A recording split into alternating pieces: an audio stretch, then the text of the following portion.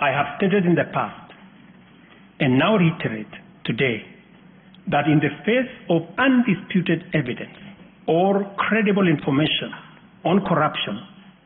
I will not hesitate to take decisive action. Accordingly, I now direct,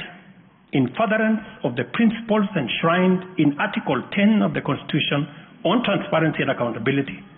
and based on new information provided by investigative agencies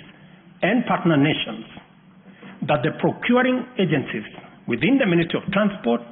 and the Ministry of Energy and Petroleum immediately cancel the ongoing procurement process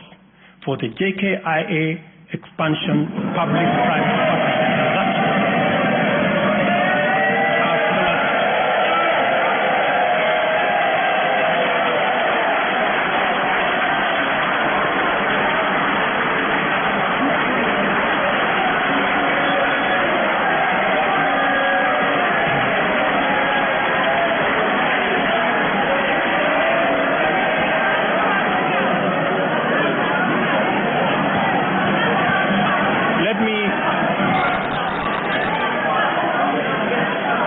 let me repeat this for clarity.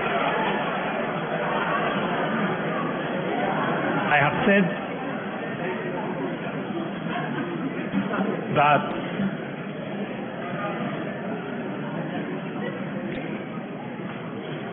provided uh, because of the information that has been provided to us by partner nations an agent, I have directed agencies within the Ministry of Transport and the Ministry of Energy and Petroleum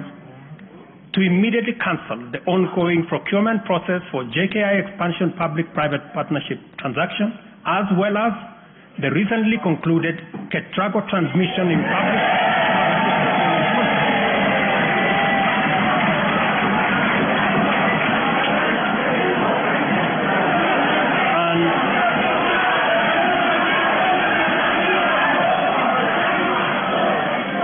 And immediately commence the process of onboarding alternative partners because these are important projects.